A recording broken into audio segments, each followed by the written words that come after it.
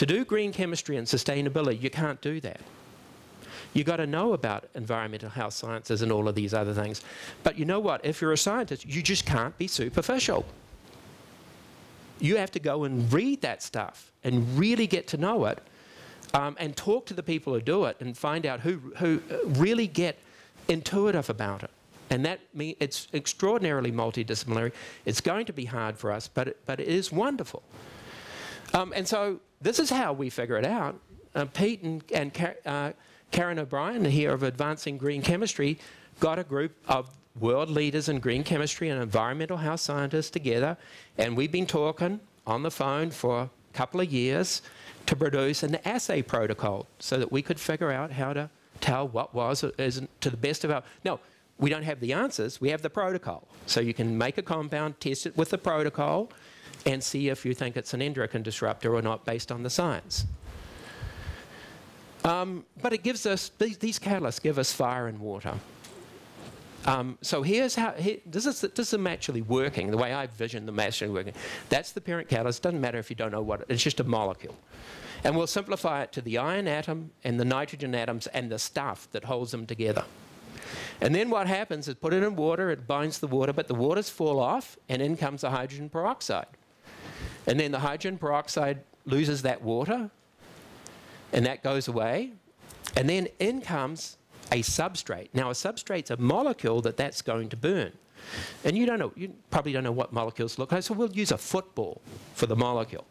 In comes the football and gets changed.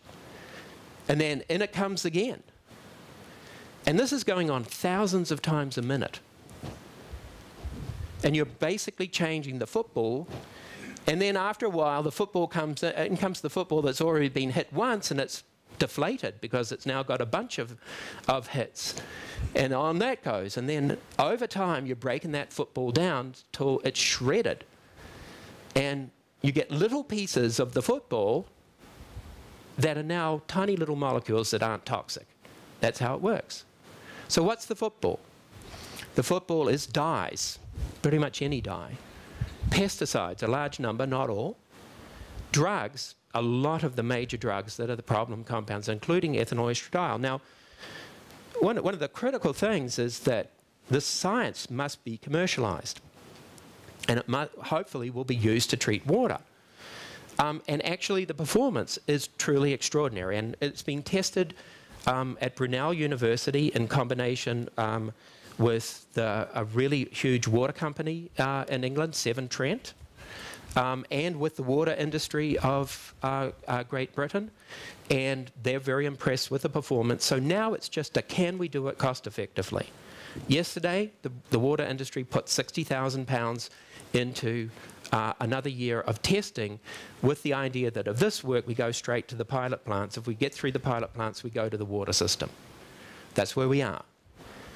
Explosives, things that last in the environment for decades are destroyed uh, by, the, by the system in minutes. Disinfectants, phenols, which are big problem chemicals. It's commercialized in laundry applications. Smells, hormones, uh, critical things endocrine disruptors and, and pathogens. And um, I'll talk a bit about the pathogens because we have some senators here, and the Senate Hart building was struck by anthrax. If, you, you if the Hart building gets struck again, you're going to use my catalysts. So the end game is really the commercialization. You, we want these things to be, be commercialized. It, it is commercially available, the prototype catalyst. Each one of those has about um, 100 grams in. A kilogram of that catalyst will treat about 25,000 tons of water. Um, and with new advances that we've, we've made, it, you can take the 25,000 tons to a much, much higher number. Um, and we want to kick those footballs over the, over the goalposts and get them commercialized and get some money into Carnegie Mellon and, uh, so that we can build sustainability and sustainability science in particular there. But we started with people and we're going to end with people uh, we have the most amazing students. And I can only talk about a few of them for the time, but this is Sayam Sen Gupta, who, Sayam, what Sayam did is he took pentachlorophenol. Now, this is a problematic molecule. Pentachlorophenol was used as a disinfectant throughout America and the world, It was used as a wood preservative throughout America and the world. It's all around the place. And people think that a good half of the dioxin in the environment comes from the photochemistry of pentachlorophenol. Um, it'll last for years in the environment. So Sayam took about a thousand equivalents of it, and for every catalyst molecule, put it with hydrogen peroxide, and in nine minutes, there was no pentachlorophenol left, there was no dioxins made. You blew the thing to pieces very quickly.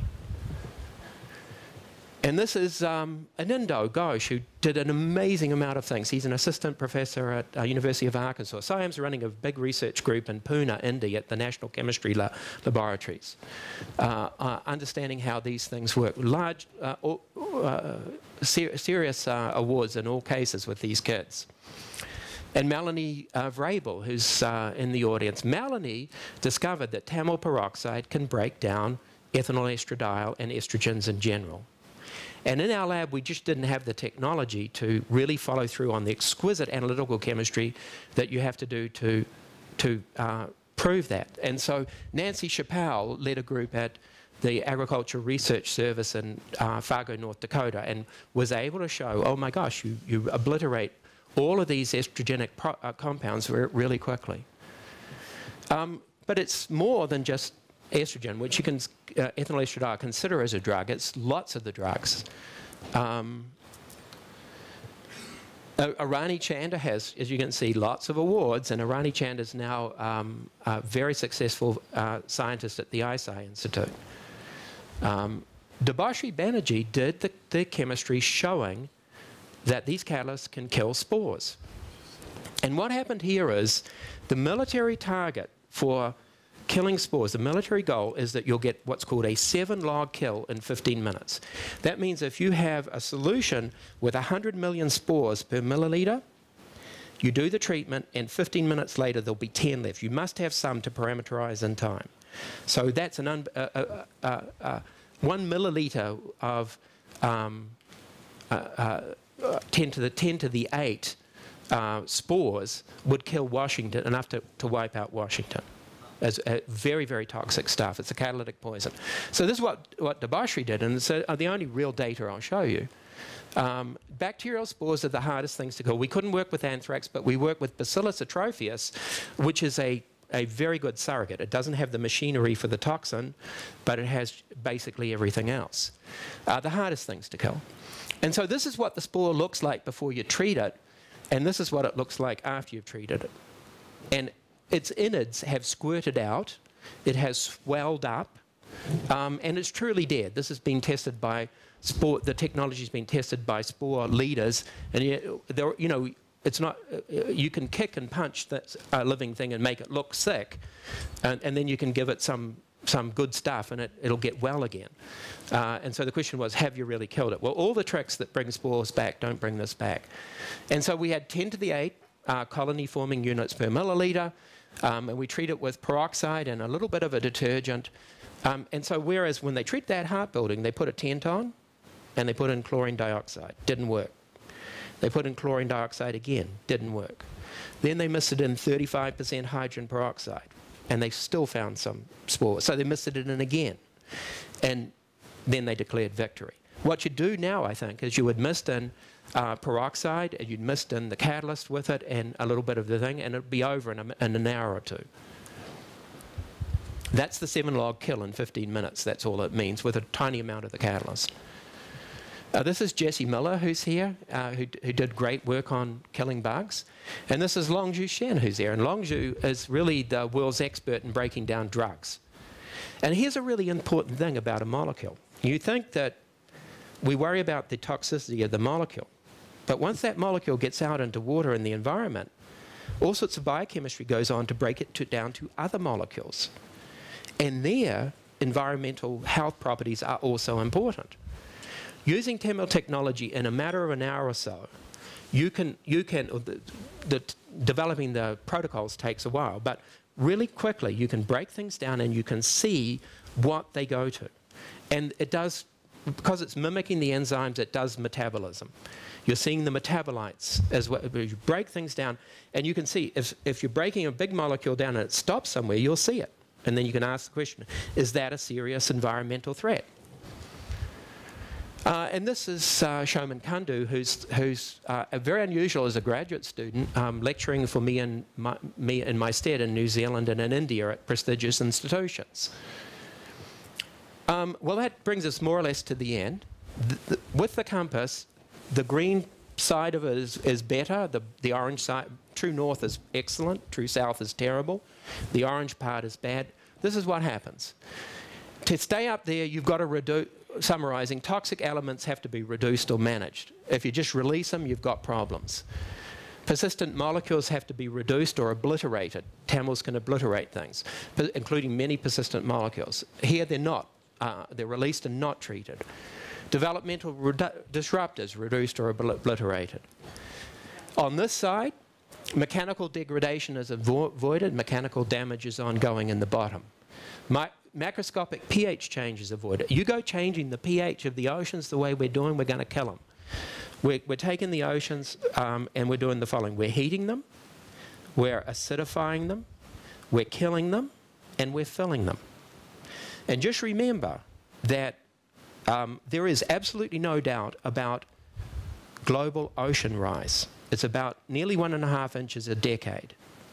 And if you happen to be a country like the Maldives or the Kiribati Islands, you're disappearing now. If you happen to be Bangladesh, you have a country about the size of Pennsylvania with 150 million people there. And most of that country is below the 10 metre mark, and much of it is, a, is one or two feet above water.